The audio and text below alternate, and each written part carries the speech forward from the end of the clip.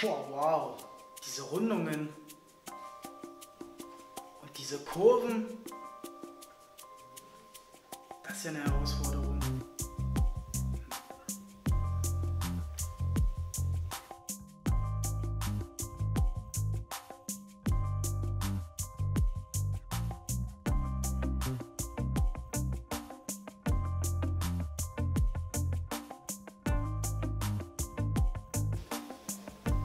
Das wird ja easy.